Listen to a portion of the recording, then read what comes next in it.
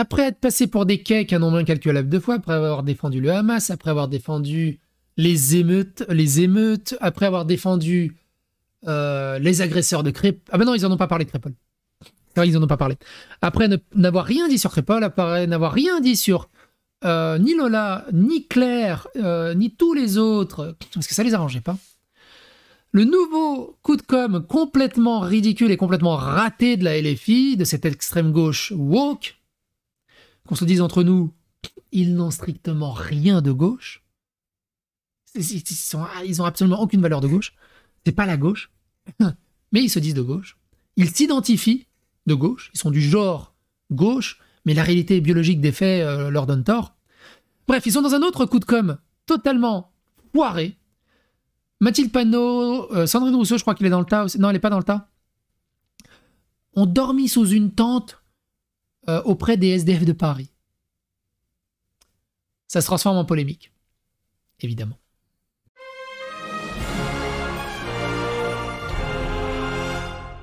Attention, please.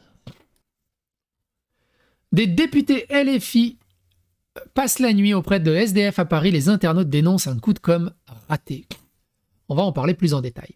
Une petite interjection juste avant. Quelqu'un qui dit, après le fiasco de son coup de com cynique auprès euh, d'hier sur le dos des SDF, Sandrine Rousseau tente un dérivatif grossier, puis supprime, encore et encore, une question placera-t-elle l'addition du repas à la brasserie de luxe? Ah oui, donc elle était là avec ses collègues et les filles sur ses frais de mandat. Libération titrait Olivier Dussopt, Dussopt, Dussopt, Dussault, j'ai un doute, Dussault, jugé pour favoritisme, l'ancien ministre est relaxé. Sandrine Rousseau a tweeté Cette justice qui relaxe les ministres les uns après les autres et qui a condamné à des, à des peines de prison ferme dans des procédures hors normes les jeunes qui se révoltaient après la mort de Naël. Voilà, elle, supporte les émeutiers, tu vois.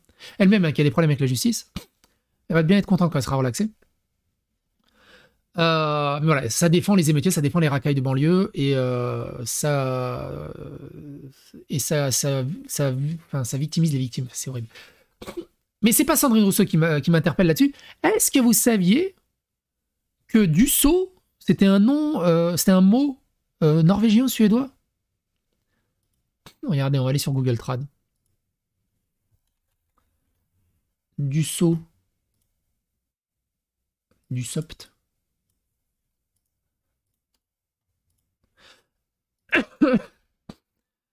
shower. Ah, maintenant c'est shower, ça a été corrigé Tiens, maintenant c'est shower. Ah, ils l'ont corrigé depuis. Ça veut pas dire shower. Ça voulait pas dire que shower. Hein. Ça voulait pas dire que shower. Ça a, été, corrigé. Parce que des fois, ça peut changer les traductions. Mais dans l'argot, argot, dans l'argot norvégien, du saut, ça voulait dire asshole. Et c'était sur le. Ah, mais non, parce que je suis en anglais, mais en français, douche. Ah, voilà, c'est ça, douche. Douche-bag. Et en argot, c'est douche-bag. Sur un autre dictionnaire, c'était douche-bag. Donc vous savez maintenant pour euh, du saut. C'est incroyable. Alors, qu'est-ce qui s'est passé? C'est quoi ce petit drama?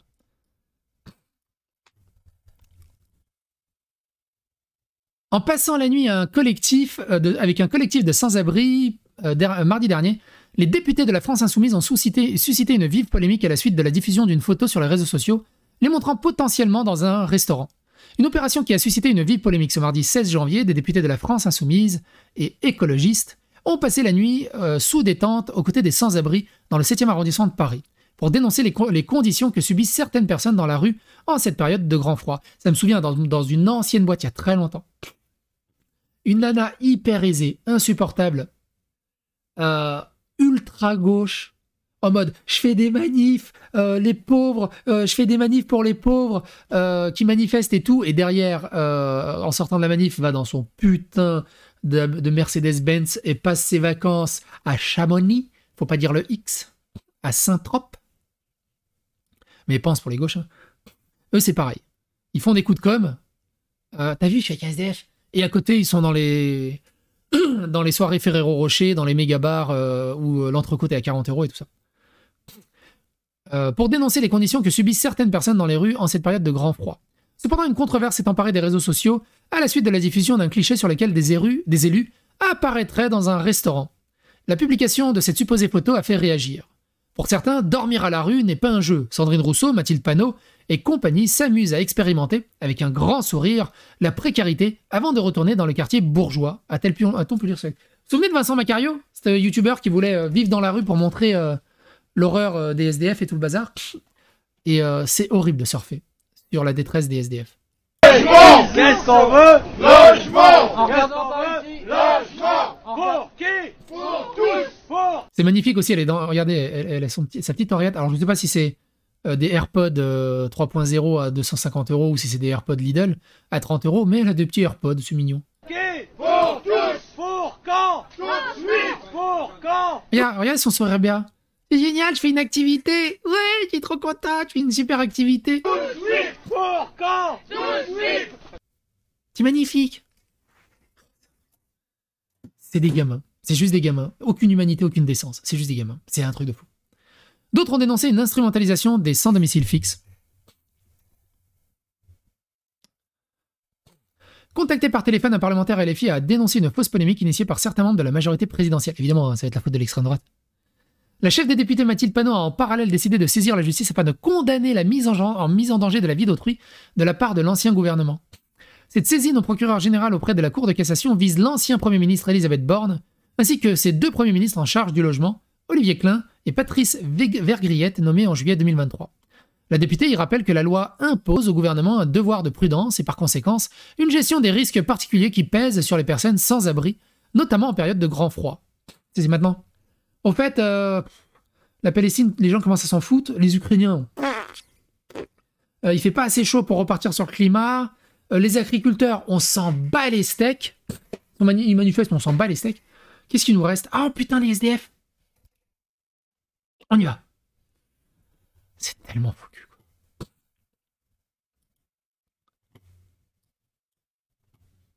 Faire bombance dans une brasserie chicos, puis aller se coucher joyeusement devant les caméras, dans des conditions bien confortables, n'ayant rien à voir avec celles vécues par les SDF. Toute l'hypocrisie cynique des élus LFI Europe Écologie Les Verts sous nos yeux. D'ailleurs, vous noterez qu'ils euh, ont une pente dans la tente. Ils vont dormir dans une tente qui est déjà dans une tente.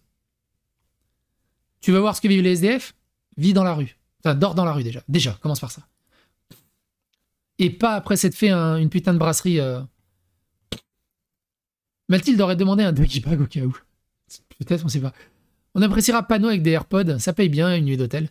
D'autant que la difficulté réside dans la récurrence quand c'est tous les jours, pas juste une nuit en doudoune à 1000 euros. Honteux. Mais oui, euh, sans décence fixe honteux. Au lieu de passer au drive McDo, quick, puis de dormir dans sa voiture, moins grec à la limite. Euh, ce que de plus en plus de salariés font, alors l'hypocrisie n'attend pas le statut, comme aux États-Unis. On a la preuve qu'ils ont vraiment passé la nuit dehors. Oui, d'ailleurs, on a la preuve qu'ils ont vraiment passé la nuit dehors, à part chanter là. C'est bizarre. Il n'y a pas un Insta, il n'y a pas un tweet en mode euh, je suis dans ma tente, il est 3h du matin. Oh, le réveil est difficile, qu'est-ce qui se passe? Qu'est-ce que je Hein? C'est bizarre, non? Ils ont juste fait 10 secondes où ils chantaient, où j'ai raté un truc. Ou genre, ils sont restés là. Journaliste, ok, on se barre. Comment ça marche?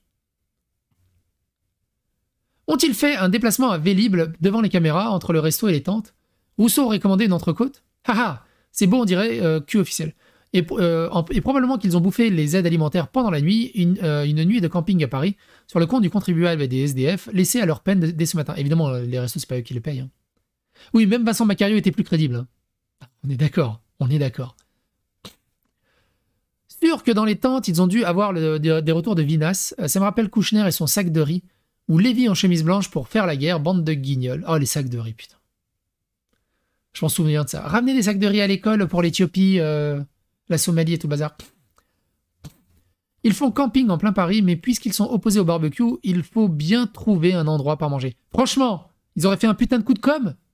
Les SDF là qui étaient autour dans le quartier, ils les chopent par le callback, les dizaines de SDF, et ils les invitent dans la brasserie où ils ont bouffé.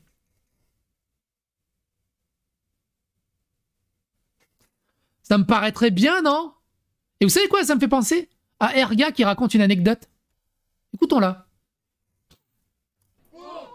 Ça me rappelle une petite anecdote à la fois banale mais assez typique et révélatrice. À une période, j'étais pionne dans un collège, dont je ne citerai pas le nom. Certains de mes collègues m'avaient repéré sur les réseaux sociaux, donc ils savaient que j'étais une dangereuse Instagrammeuse d'extrême droite. Notamment un qui me disait plus bonjour. Non, non. Ok, à côté de ça, il y avait devant l'entrée de ce collège un SDF qui était là au même endroit tous les jours. Et en fait, entre ce pion là qui me disait plus bonjour et moi, la personne qui, après chaque service de midi, récoltait un peu de nourriture au self pour aller la donner à ce SDF, euh, c'était moi en fait. Ça me coûtait rien ni en argent, ni en temps, ni en énergie, c'était pas grand chose. Entre parenthèses, le SDF n'était pas français. Mais voilà, en fait, la gauche, c'est souvent un humanisme assez lointain, abstrait, un humanisme d'idées. Là où en fait, nous, conservateurs, identitaires, patriotes, ce que tu veux, généralement, pas tous. Ok, on prétend pas pouvoir ou même vouloir sauver l'humanité entière, mais à côté de ça, on sait avoir des gestes d'humanité envers les personnes devant nous, là, maintenant. En fait, c'est le seul humanisme qui existe réellement, il me semble. Tout le reste n'est que littérature, c'est du vent. Et elle a totalement raison, euh, Erga, là-dessus. Le nombre de personnes qui se disent ultra de gauche, le la, main sur le cœur et tout, et qui sont juste odieux. Avec les livreurs, avec les gars Uber, avec euh, dès qu'ils ont, ils se transforment en mode Karen dès qu'ils ont une contradiction. Euh, oui, Erga, elle a une super. Oh, elle, elle, a fait une chanson, elle a une voix de fou furieux. Je sais pas si je vais réussir à la retrouver. chanson. Alors, il y en a une. Ah, c'est ça, les lance Elle est incroyable, cette musique. Ce monde vétuste et sans là là, croulera demain devant notre foi, là.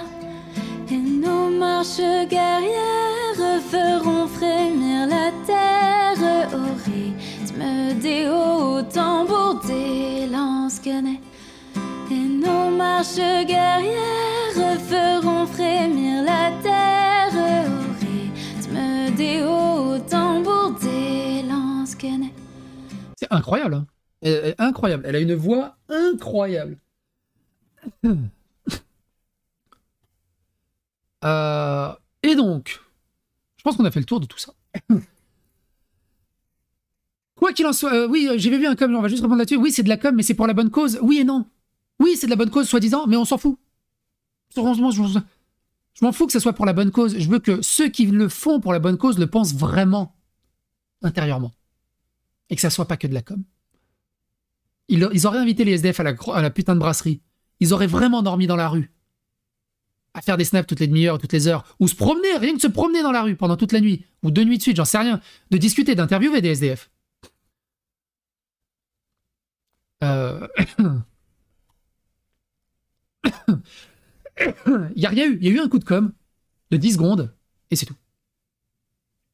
Comme dit Erga, ces gauchistes n'ont aucune humanité et critiquent et disent que le problème c'est les autres, les ultra-droites et tout le hasard, alors que au final, tout ce qui me démontre de semaine en semaine, de mois en mois, c'est qu'ils ont plus d'humanité. Ils humanisent non-stop cette ultra-droite.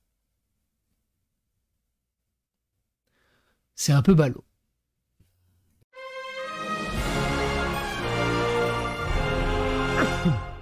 Attention, please.